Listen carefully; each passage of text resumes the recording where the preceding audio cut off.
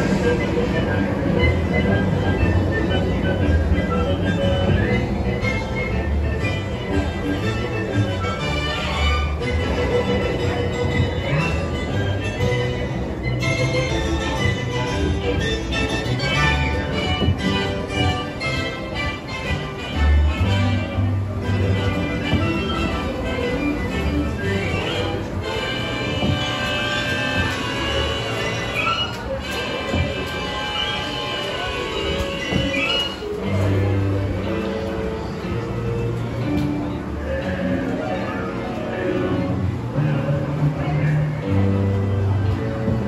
some gold. No fear have ye of evil curses, says you. Ah.